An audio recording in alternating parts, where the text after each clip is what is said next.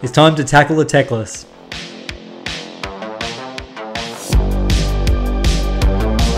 Welcome back to Anvil of Doom Miniatures, my name is Deets, and yes, I'm probably the worst High Elf simp around. I haven't painted any High Elves for about 6 months now, and I'm itching to get back into it. I've had a few comments asking when I'm going to paint some more High Elves, and today is the day, because I'm going to paint the big boy himself, or the little man himself, Teclis. I made a promise to myself that I would have my whole High Elf army finished and painted by the time of the old world, but that didn't happen. I still have a huge amount of High Elves to paint, so many to get through that I'm not even going to bother. I'm just going to paint them at my own pace. But anyway, I'm going to get back in the swing of things and paint the mage of all mages everyone's favorite magician in Warhammer Fantasy or the old world, Teclis. Now, I'm a massive fan of the original 4th edition sculpt of this guy, but I don't own it unfortunately. I only have the 6th edition, but that's okay because I don't see many people painting the 6th edition guy, so it will be pretty good to see something a bit different. And if you wanted to use this guy as a guide to painting your 4th edition one, you could pretty much use the same techniques and my recipes as well. But anyway, let's get straight into it. I'm going to give this guy a Wraithbone undercoat to start off with. First up, I'll tackle the skin tones because I tend to make a mess around the face areas when I'm painting dudes with helmets. If I do the face first, I don't have to worry about being too neat because I can just paint over the helmet later. Now I don't know if I'm alone having this feeling, but I tend to tuck away my prized and favourite miniatures because I feel like I'm not at a good enough level to give them the justice they deserve. I've had this miniature sitting in my pile since getting into miniature painting, but there comes a time when you need to pull your socks up and just do it. Painting hero miniatures and putting in some effort really gives me motivation to tackle more bigger and bolder characters and projects. So if you have a pile of precious miniatures sitting in the corner that you don't want to paint, whip one out and get painting. You can always strip them down and paint over if you make any mistakes or if you don't like the paint job. Now, as it has been a while since I've busted out the white and blue high elf colors, I do have a bit of brain fog on how to approach this miniature, but I find the best way to remember is to jump straight back into it. I'm going to mix up half Ulthuan Grey to half Celestra Grey and apply this all over the Loremaster's robes. Adding in this Celestra Grey will darken up my undercoat nicely. Now as usual, I tend to paint things out of order sometimes, especially when I'm painting single miniatures. When I'm batch painting, I have everything organized and regimented, but sometimes when I'm painting hero miniatures, I kind of paint whatever I'm in the mood for. And because the cape and the hat were really big, I thought I'd just approach the blue from start to finish and get it all done. I've been experimenting with some of my recipes recently and I've added a few more steps in just to boost some of the contrast. I add 3 parts Teclis Blue to 1 part Vallejo Ultramarine Blue and apply this all over. To darken up the recesses, I then apply some severely watered down Ultramarines Blue Wash. It will look a little dark after this step, but stick with me because I'm going to punch in some bright highlights. I go back over the washed areas with my Teclis and Ultramarine mix again in a semi-glazed consistency, making sure nothing gets in the recesses. Then it's time to highlight up and I start with pure Teclis blue to large areas. Then I mix in some Lothern blue to the Teclis blue and eventually work this up to pure Lothern blue. To make the cape and the hat a little bit more vibrant, I mix in some blue horror to the Lothern blue and glaze this to the smaller sections. To finish, I do an edge highlight of blue horror, and today I'm going to give the points a bit of a dot highlight with some blue horror and white mix. I will be doing some stars in the cape later, so stick around for that pile of fun. You can't be a Lord of Ulthuan without some gold. I'm going to use some Gehenna's Gold as my base because it's a little bit darker and has a sort of a warmer tone to it, which tends to work well against the cold whites and blues. For the leathers, I'll use some Doombull Brown as the base colour, and this follows the same trend as the Gehenna's Gold being a little bit more warm. Now my high elves have a bit of a twist to them and I like to include the colour purple where I can on little bits of trim and decorations on their robes. What really inspired this was the 6th edition Codex artwork. Teclis on the cover has his blue and purple robes, and that image just pops to my mind every time I think of High Elves. And to finish up for the layers, I use some gunmetal as my silver base on the sword, helmet, and the staff.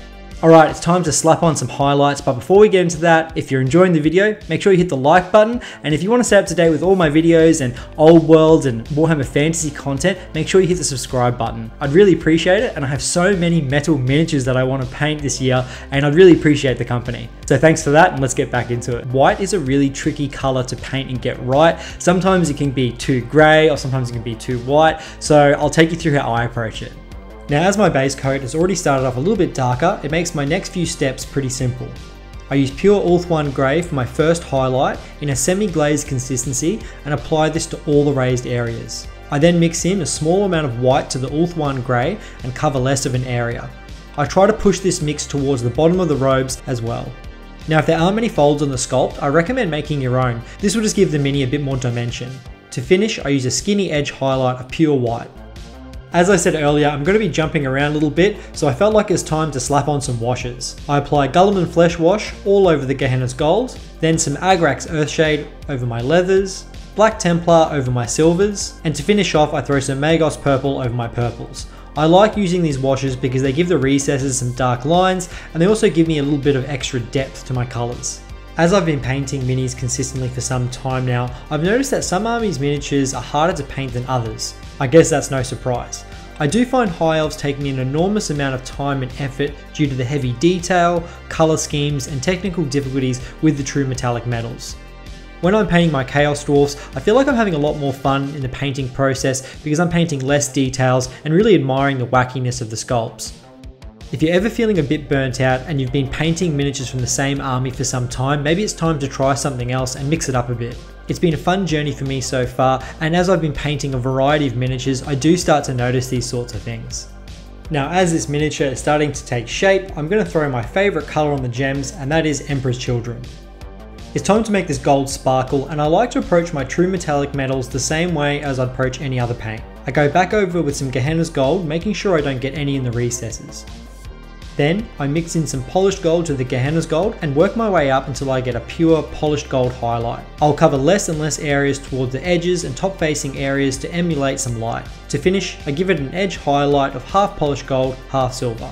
Now for the silvers, and I'm just going to go back over with some gunmetal and then mix in small amounts of silver until I get a pure silver. I always make sure I'm watering down my metallics just a little bit to help them flow better off the brush. Now just an FYI guys, I am changing my water after I use my metallics because there's nothing worse than getting metallic flakes throughout your miniature. You don't want to be a grub. I love an ivory bone look to my wizard staff, so I mix in one part skeleton horde to one part contrast medium and slap that all over the wraith bone. When that's dry, I then glaze on some bone white to the top sections of the staff, and then I mix in small amount of white to the bone and glaze a little more to less of an area. Moving on now to give this guy some bling bling, and this guy has about 43 gems like every other high elf, but I never ever leave a gem behind. To kick things off, I glaze watered down black over the top right of each gem, and if it's a little light, I wait for each layer to dry and then apply some more over the top until it's dark enough. I then mix in a small amount of white to Emperor's Children and highlight the bottom left of each gem. Once I'm happy with that, I mix in a little bit more white and highlight a smaller area on the bottom left. And to finish, I throw in a pure white dot over the black. It's pretty simple stuff and these gems look pretty good to me.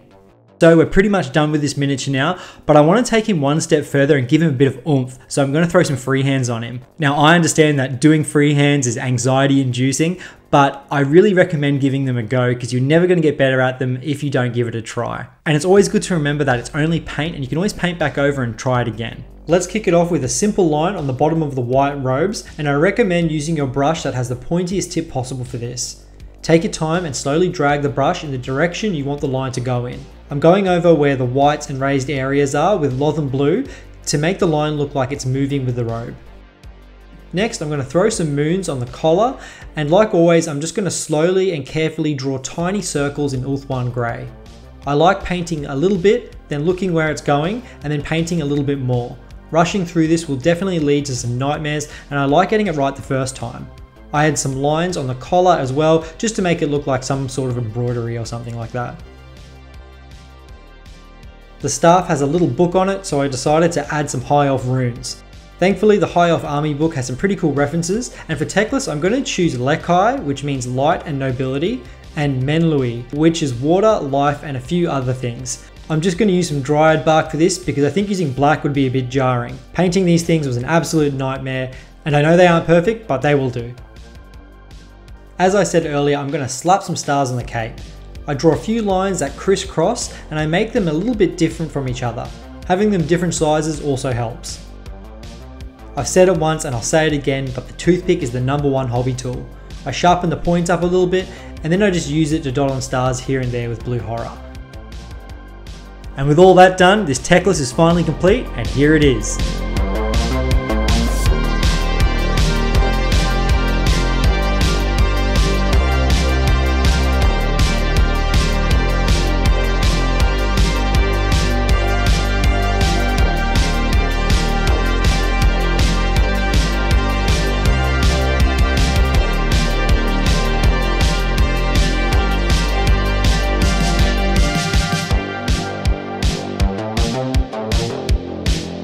Thanks so much for sticking around to the end, my dudes. I really appreciate it. Let me know what you think of the model or let me know what you would do differently. I'd love to hear it. Also, I want to say a massive thank you to my Patreons. You guys are a bunch of legends. I really do appreciate the support. And if you want to join our Patreon, the link is in the bio and I can't wait to see you on the Discord. Anyway, guys, I'm out of here. Take it easy, be kind to one another, and I'll see you soon. Cheers.